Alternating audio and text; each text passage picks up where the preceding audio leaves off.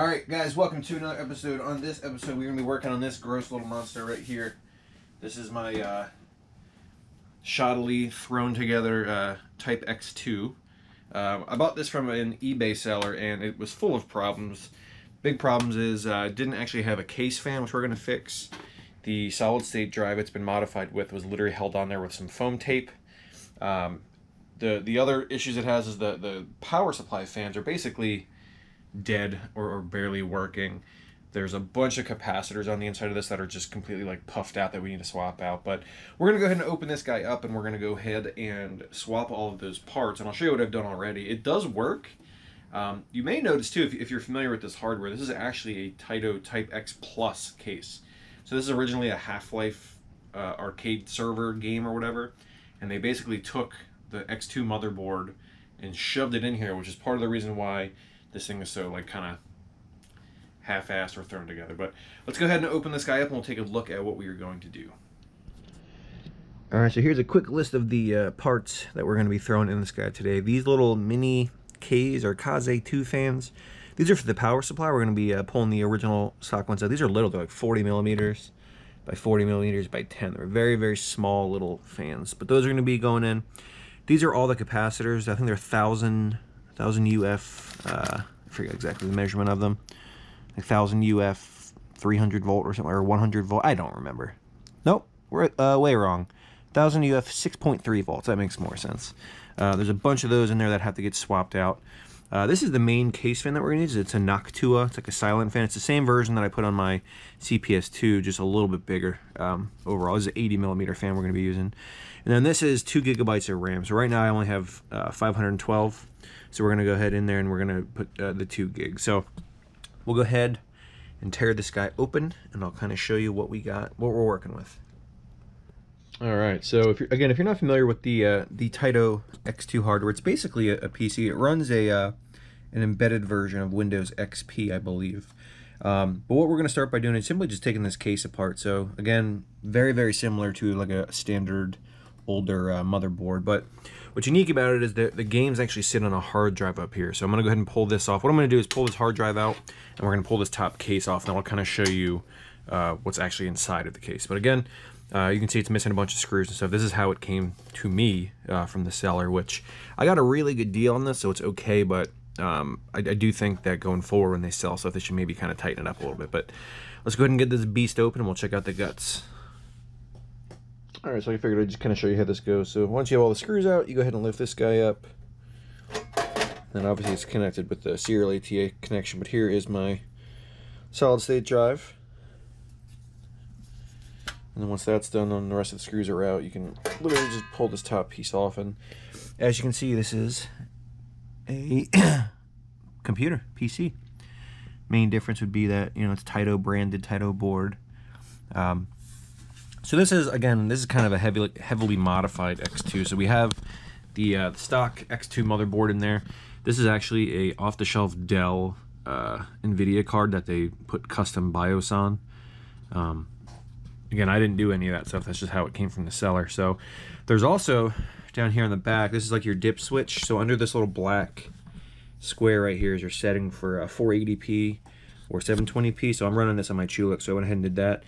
You have your, uh, it's, see it's marked JAMMA. Pretty sure you guys can see that, but that's actually for your I.O. So I'm using the Capcom I.O. to plug that in. Now there is an option for another one of these cards that have a Taito Fast I.O. This doesn't have it. My X3 board does have it, but this simply doesn't have it. But here's your video output. I'm converting the DVI signal to uh, HDMI, and then I just run the audio out of, you know, the same thing into the amp of the Chewlix. Um, but yeah, it's, it's pretty much, you know, outside of like this power supply being a little bit beefier, uh, and this has two fans in it too, we're going to swap. Basically, what I've done so far is I have gone ahead and put, uh, I did new thermal paste for the CPU. I put a new CPU fan on there because the, the other one was kind of rough.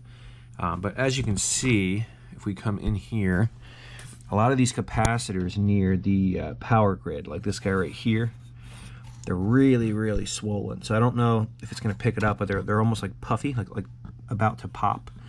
So all those 6.3 volt 1000 UF caps, we are going to go ahead and pull those out and, and swap them for the new Nichicon ones. Um, but yeah, it's, it's basically a PC. So I'm going to go ahead and take this thing apart. I'm going to pull this motherboard out.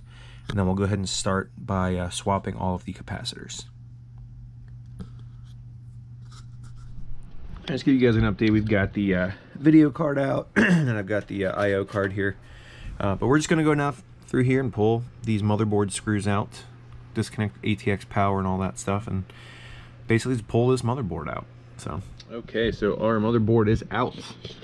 Now that we have it out, I'm gonna go ahead and spin this around for you, so you can get a better look at some of these uh, capacitors that are super puffed trying to get the light to focus a little bit better for you. But you can see how like they're like puffing up and swollen and everything like that. We don't want those guys to stay in there. So we're gonna go ahead and swap them out with our brand new one. So what I'm gonna do is turn on the old uh, the old Hakko over here. And we're gonna start pulling some of these old uh, capacitors out. Alright, so we have our first cap out. You can see here how uh, puffy this guy was. Kind of swollen, so we have a bunch of these new little Nichicon guys. We're gonna pop in to these holes. So as you can see, there's a frick ton of them. So it's gonna take a bit, but once we're all done with that, we'll move on to the next step. But you can see the underside of the X2 here. It's got a big old X clamp on it for the processor. It's pretty cool. All right, so all of the puffy caps are gone. So we are now going to go ahead and pop this back into its case and start swapping out fans and RAM and all that other fun stuff. Alright, so sadly, uh, just like much of the rest of this X2, the uh, power supply has the wrong fans on it. So mine has the single fan over here, and the original X2 actually has two kind of in the back. So unfortunately, we can't swap that out. I'll go ahead and order it. This just looks like a normal 70 millimeter fan. Um, I did go ahead and get the Noctua mounted. Um, again, the original X2 had a 120 millimeter case. The case is a lot bigger than this one. Um, so I went ahead and, and, got an 80 millimeter, and, and I know it's kind of janky, but I had you know, kind of supported in the corners with uh, zip ties. I don't want to put screws through because I don't like the idea of having metal washers and nuts hanging over motherboard. But that fan is now mounted. Um, again, before before we filmed this, I went ahead and put a new fan on the CPU and thermal paste. We have the motherboard back in. So I'm gonna go ahead and pop the video card back in, kind of put everything back together, and then we're gonna go ahead and pop it in the Chewlix and see if it fires up. So let's get to it. All right, so we got our video card back in, got our fan mount. I'm gonna go ahead and just simply swap these RAM sticks. I'm pretty sure a lot of you guys have swapped the RAM, but we'll go ahead and check it out when it's done. But pop those guys in. Okay, the X2 is back together, so we're gonna go ahead and pop over to the uh, Chewlix, pop this thing in and see if it fires up. And here you can see all the uh, the junk pile, the old caps and crap that we pulled out of there. So quite a bit of work done. It is a little bit dirty. The shell's kind of beat up. I did scrub it, but a lot of this is just like scratches in the actual metal.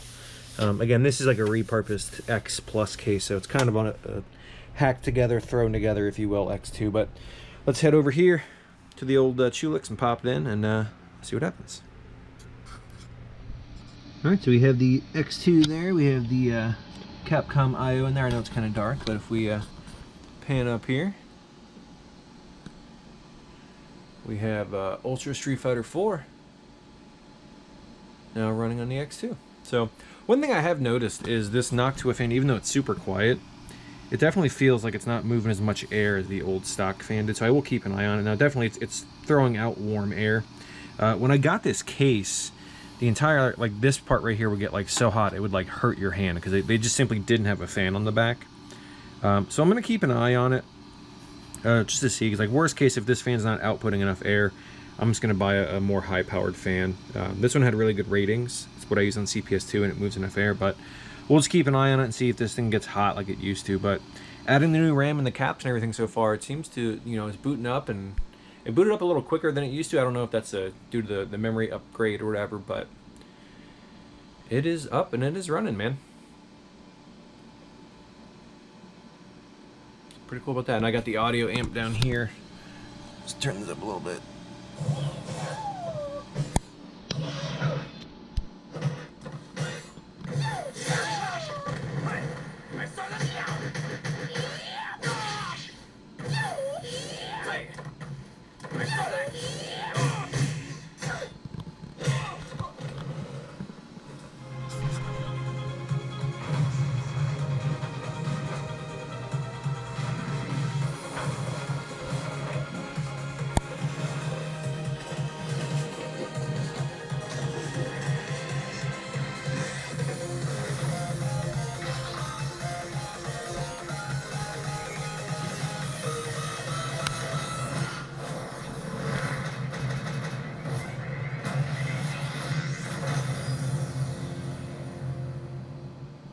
All right, guys, so that's going to do it for this quick little episode. Um, I wanted to take a quick second and thank you guys. We finally hit 500 subscribers, which is a very, very small number, but I do appreciate you guys interacting, asking questions, things like that. So uh, thank you guys very much. Uh, on the next one, we will be heading up to FGP to check out the Megalo. I'll be filming that in a few days and hopefully get it up by the end of the next week. Don't hold me to that, but I'm going to try to get more stuff up when I can. It's just life's been crazy and, and all that stuff. But thank you guys again for tuning in, and as always, we'll see you on the next one.